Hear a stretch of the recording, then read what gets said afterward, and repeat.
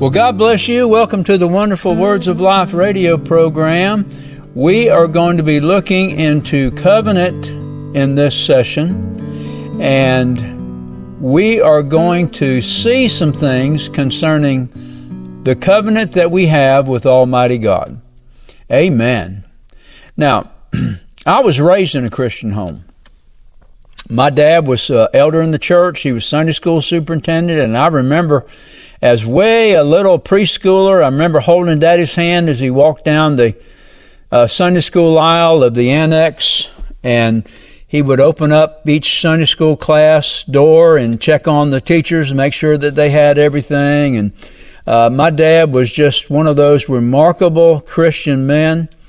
Uh, he would uh, put me to bed every night. Uh, he would help me memorize the 23rd Psalm, and we'd pray the Lord's Prayer together. And then after that, he would whistle me to sleep. And I, I tell you, I was so blessed to have a dad like that.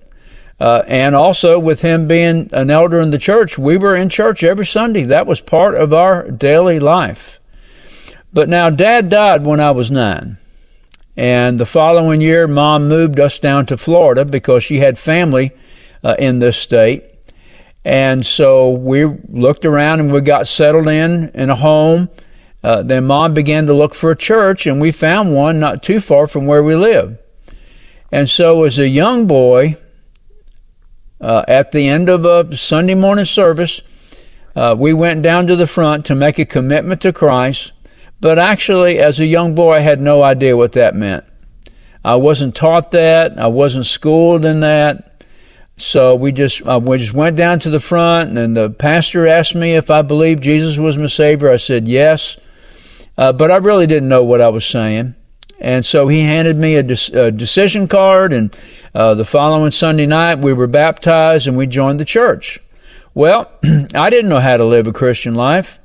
I tried to live the kind of life that mom said I should, and I failed miserably.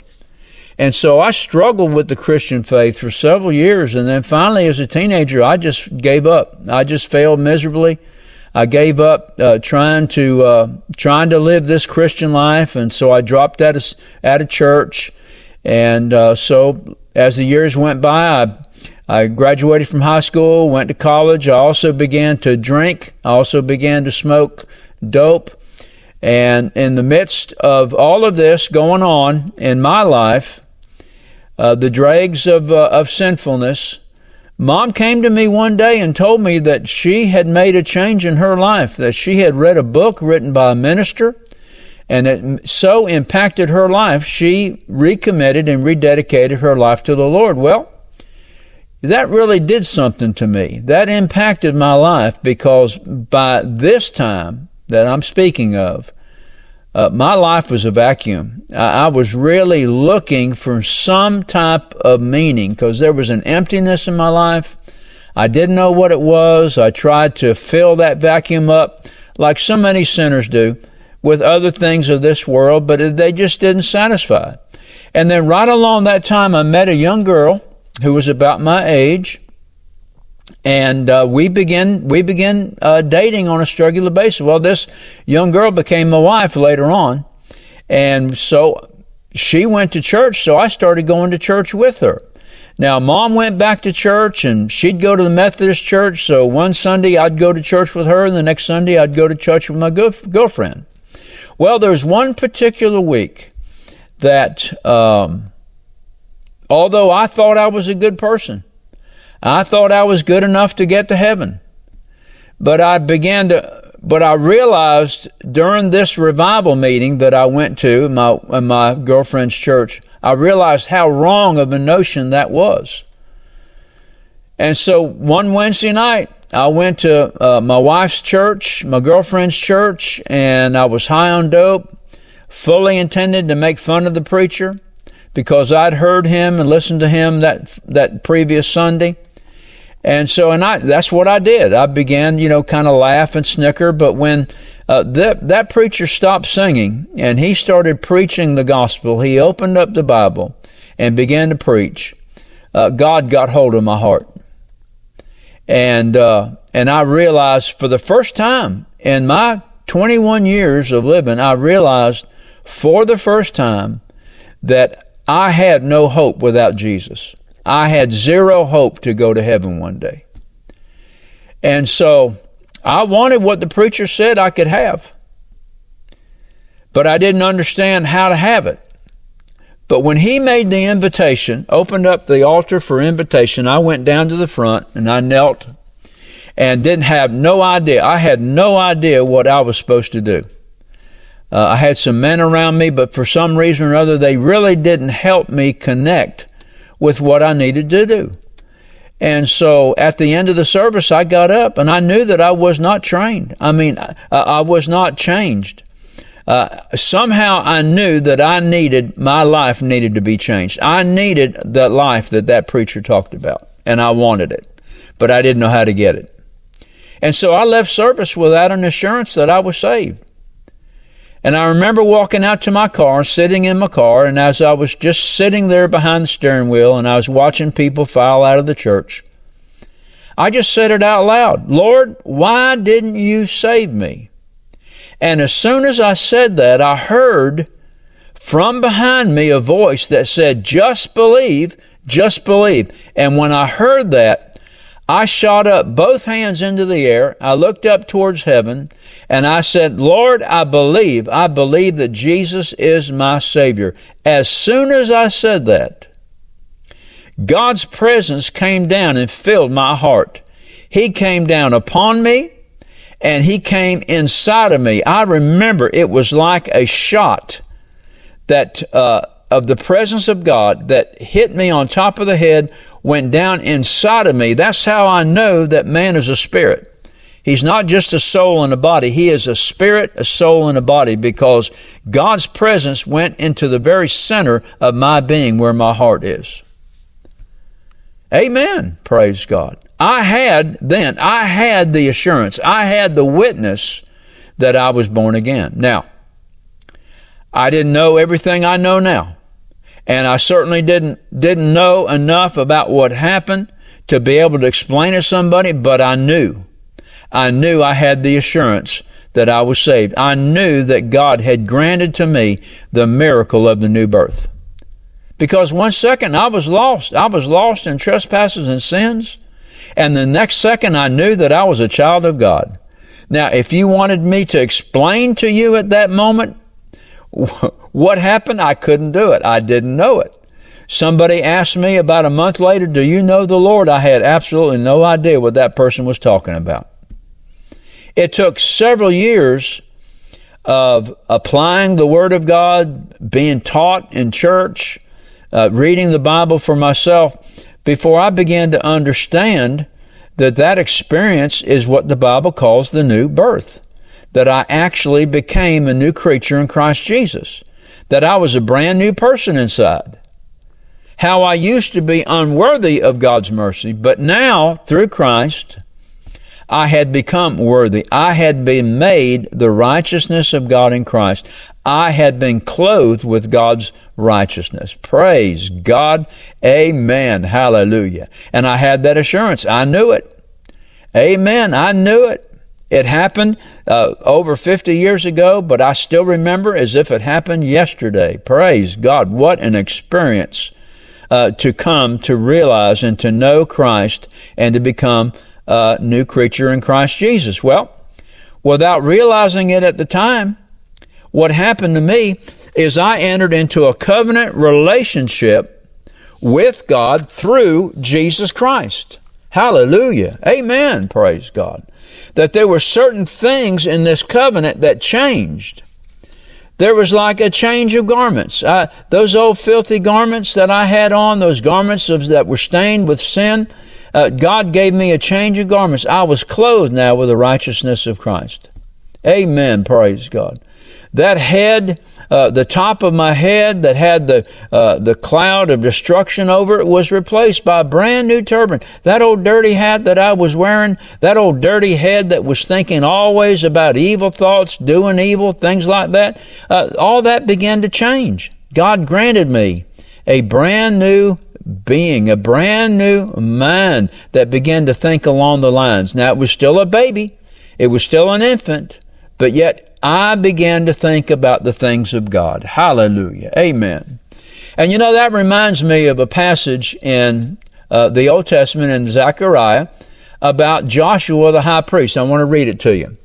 Uh, beginning in chapter 3, verse 1 And he showed me Joshua the high priest standing before the angel of the Lord, and Satan standing at his right hand to resist him. And the Lord said unto Satan, The Lord rebuke thee, O Satan, even the Lord that hath chosen Jerusalem rebuke thee. Is not this a brand plucked out of the fire? That's what I felt like I was. I felt like I was a brand that was plucked out of the fire. Hallelujah. Now Joshua was clothed with filthy garments and stood before the angel. And he answered and spake unto those that stood before him, saying, Take away the filthy garments from him. And unto him he said, Behold, I have caused thine iniquity to pass from thee, and I will clothe thee with change of raiment. And I said, let them set a fair mitre or a turban upon his head, something that was clean. So they set a fair or a, a clean turban upon his head and clothed him with garments. And the angel of the Lord stood by, and the angel said unto Joshua, Thus saith the Lord of hosts, If you will walk in my ways, and if you will keep my charge, then you shall also judge my house, and you shall also keep my courts, and I will give thee places to walk in among these that stand by. And see, these are covenant conditions that Zacharias prophesied over Joshua. Notice the change in garments. That happens when a person is born again. Those old filthy garments of the old man, Amen. They're taken away and new garments of the new man are placed upon it. That old dirty, uh, awful, evil turban is replaced by something brand new. It's called the mind of Christ. Hallelujah. Amen. And then the conditions of the covenant. If you do these things.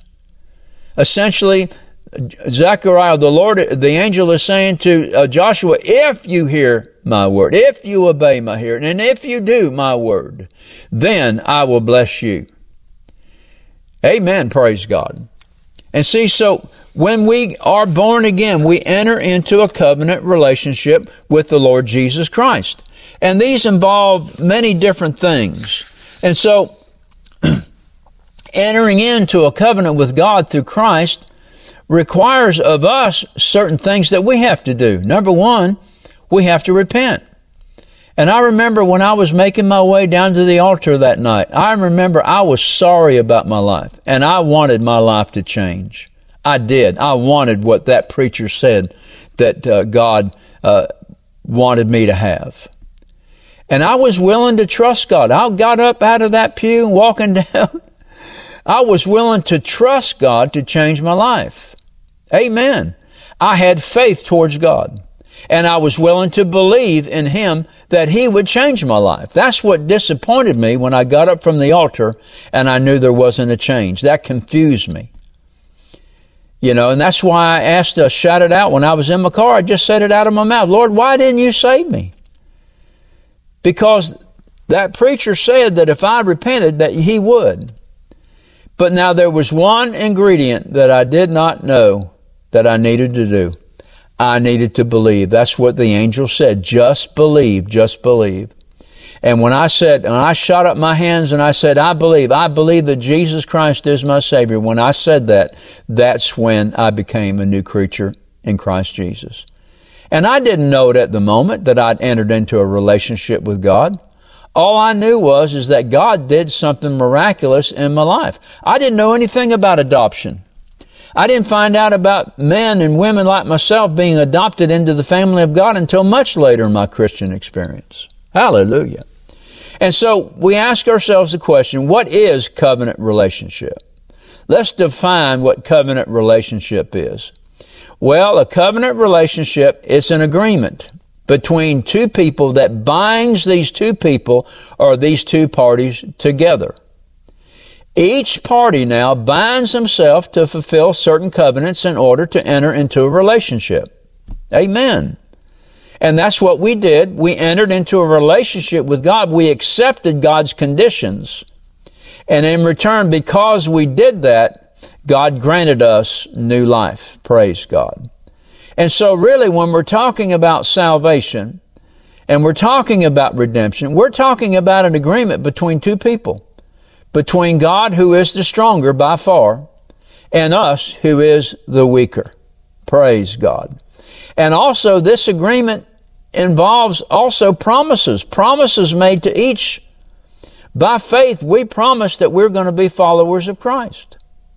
And because we repent and appeal to Him, and let me tell you this, it, we don't draw ourselves to God. It's God that draws us to Himself. So He's the great initiator. But now He promises if we'll have faith that He'll save us. And we promise that through salvation that we will follow Him. So it's a covenant. The new covenant is a covenant. It's between God and between men. And this covenant, actually the word covenant itself is so important. It runs through the entire Bible, through the Old Testament and through the New Testament. Praise God. And God made covenant with Abraham. God promised to bless him and bless his descendants and to make them his special people. Abraham, in return, was to remain faithful to God and to serve him and to be a channel which God would work through him to bless the entire world. Amen. You know, God said this in Genesis 15, and Abram said, Lord God, what wilt thou give me, seeing I go childless, and the steward of my house is this Eleazar of Damascus? And Abram said, Behold, to me you have given no seed, and lo, one born in my house is mine heir. See, that is Abram on his part stipulating this covenant agreement. And behold, the word of the Lord came to him saying, This shall not be thine heir, but he that shall come forth out of thine own bowels shall be thine heir. And he brought him forth abroad and said, Look now toward heaven and tell the stars, if you be able to number them. And he said unto them, So shall thy seed be. Now listen, verse 6 And Abram believed in the Lord, and he counted it to him for righteousness. He began to trust in the Word of God. He held God to be faithful and to be a God of His Word. And so he believed in what God said. And God counted it to him for righteousness. In other words, he considered Abram now to be in right standing with him. They agreed on the same plane. But now, this doesn't mean that the covenant was cut here. It's cut uh, much, much later. So, we ask ourselves the question, what happens when we enter into a covenant relationship with the Lord? Well, Number one, there's definite changes. I remember when I received Christ and the Spirit of God came in me, I became a brand new person inside. There was definite changes in my life. There was changes in my mind. There were changes in my behavior. I wasn't made perfect. None of us are. Amen. But I was, I became a work in progress. And so we enter into a blood covenant. This is a covenant made through the blood of Jesus Christ. We enter into a covenant with Almighty God. And the nature of the covenant really runs a, a pattern that is uh, similar to all kind of covenants. Amen. There's there's a name change. Uh, uh, there's one person he approaches another person that he wishes to cover a covenant with. You know, usually it's the weaker appealing to the stronger. And uh, that's exactly what happened to us when we came to Christ. Uh, there's an exchange of gifts. Amen. We, we, uh, we give God what we have, which is just ourselves. I mean, there's nothing that we can give God that He doesn't already possess, but we give Him our heart. And in exchange, amen, He gives us His garments of righteousness and truth and holiness. Amen. And then we, each other obligates. God obligates Himself to us to answer our prayer, to supply our need. Amen. To be that help in time of need. And of course, we're obligated to obey and to serve Him all the days of our life. And then normally with covenant relationships, there's an exchange of a cup of wine. And in that wine, there's blood that has been cut by the, in the wrist of the two parties, and that blood is dripped into that uh, wine glass and mingled, and they drink it, and they become blood brothers. They become the same. Amen. They become one another. Well, uh, we have had the blood applied to our heart. Hallelujah. Amen. Praise God. And then finally, there's that, the dirt is rubbed into the incision and makes a permanent mark. Well, God has set a permanent mark upon our life, upon our heart, through the precious blood of Christ and through this new covenant that we've entered into. Amen. Praise God. Now, in Genesis chapter 17, I'm going to go ahead and read this to you. And when Abram was 90 years old and nine, the Lord appeared to him and said to him, I am the Almighty God. Walk before me and be thou perfect. And I will make my covenant between me and thee and will multiply thee exceedingly. And Abram fell on his face and God talked with him saying, As for me, behold, my covenant is with thee and you shall be a father of many nations. Neither shall thy name any more be called Abram, but thy name shall be Abraham. For a father of many nations I have made thee, and I will make thee exceedingly fruitful, and I will make nations of thee, and kings shall come out of thee. And I will establish my covenant between me and thee and thy seed after thee, in their generations for an everlasting covenant to be a God unto thee and to thy seed after thee. And I will give unto thee and to thy seed after thee the land wherein thou art a stranger, all the land of Canaan for an everlasting possession, and I will be their God.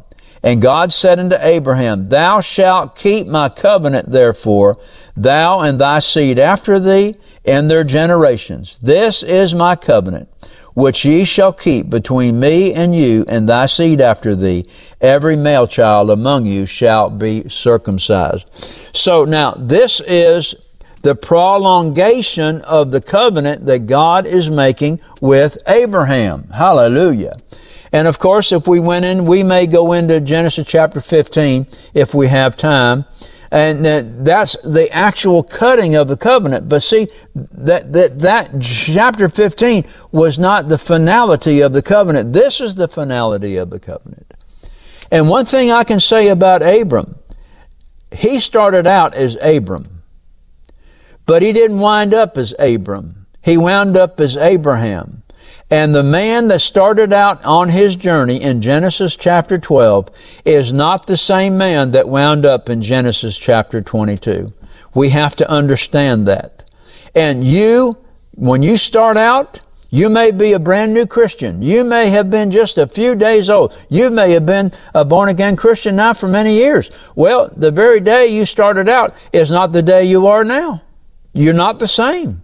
You've grown. You've matured. You've learned some things. God has shown you some things. You've learned how to, to, uh, open up your heart wider to receive uh, Christ and to become more submissive to Him and more willing and obedient towards Him. Hallelujah. So the very moment that we enter into a covenant relationship with God, we begin to notice change. I noticed change immediately. That day, that night, I got saved again. Hallelujah. And uh, we realize also that I didn't realize it then, but I was changing. And I look back now in 50 plus years, and yeah, oh yeah, definitely, definite change, definite change in my life. And the same is true uh, with you. Amen. Praise God. Now, Colossians says this. Now, we're talking about change in the new covenant now. Notice what Colossians chapter 2 verses 9 through 15 says. For in him dwells all the fullness of the Godhead bodily. And ye are complete in him. You know what that really means? That means, and you too are filled with all the fullness of God. Just like Jesus was filled with all the fullness of God through the new birth. Now you are also, you and I also are filled with all the fullness of God. In whom you also are circumcised with the circumcision made without hands, and putting off the body of the sins of the flesh by the circumcision of Christ, buried with him in baptism, wherein you also are risen with him through faith in the operation of God, who has raised him from the dead. And you, being dead in your trespasses and sins, and the uncircumcision of your flesh, has he made alive together with him, having forgiven you all trespasses, blotting out the handwriting of ordinances that was against us, which was contrary to us, and took it out of the way, nailing it to his cross. And having spoiled principalities and powers, he made a show of them openly, triumphing over them in it, and has given to us peace, the peace that passes all understanding. This is the working of the new covenant that God did on the inside of us. Notice our identity begins to change. We take on a whole new identity. Transformation begins to take place in our mind. We begin to see things that we've never seen before. We begin to desire things that we've never desired before. That moment I stepped into that church on that Wednesday night, I thought I was having a high whole time. I thought I was a good person. Here I was high on weed, intending to make fun of the preacher. I was dead in trespasses and sins. I didn't realize that I had one foot in hell and the other one dragging in. I didn't understand that. But through the new birth, I began to abhor that which I did. I began to loathe that which I did.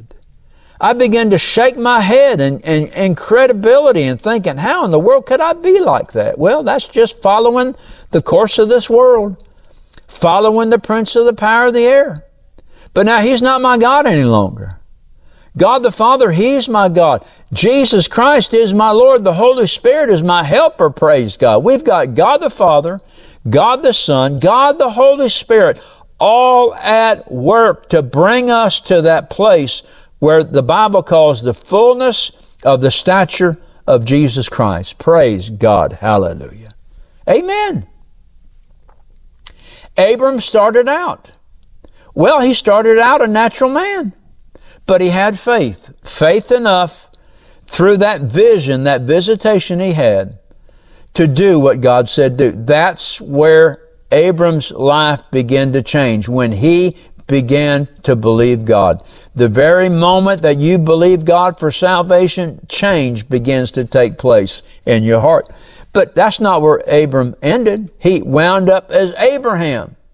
And God turned Abram into Abraham and made him a mighty force for God through his covenant relationship with him. And we have that same covenant relationship with him in the new covenant. Therefore, if any man be in Christ, he is a new creature. Old things are passed away. Behold, all things are become new. Our identity has changed the very moment that we're born again. Being born again, that's the first cause of transformation. God then begins to work in His and our life according to His will. And we give God praise and honor and glory for it in Jesus' name. Amen. God bless you. Praise God. Thank you, Father, for your goodness and for your mercy. In Jesus' name we pray. Amen. Do you know beyond a shadow of a doubt that if you were to die today, that you would be prepared for heaven? If you're not sure, then I encourage you to pray this prayer with me. Father God, I come to you through your Son, Jesus Christ. I repent and ask you to forgive me of my sin and cleanse me from all unrighteousness. I surrender my heart and life to you. By faith, I believe I receive you as my Lord and Savior, and I thank you for receiving me in Jesus' name. Amen. If you prayed this prayer and desire to know more about the gift of Christ that the Heavenly Father offers you, then email us at tc86 at gmail.com. We will be glad to answer your questions promptly and provide you at your request with materials that will help you to grow in your faith in the Lord Jesus. This is Patsy Dunning. Thank you for listening to our broadcast today. And let me remind you to tune in to this station at the same time next week to hear more of the wonderful words of life. God bless you and remember what Jesus said it is the Spirit who gives life.